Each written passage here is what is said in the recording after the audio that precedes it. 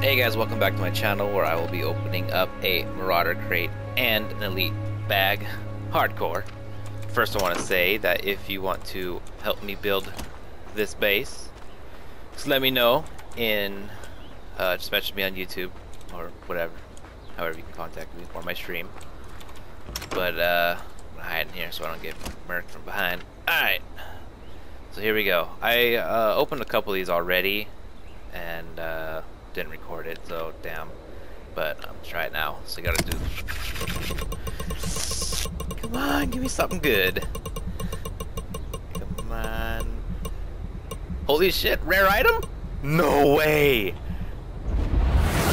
Holy fuck, pink bandit set! That's like the worst one I think, but damn!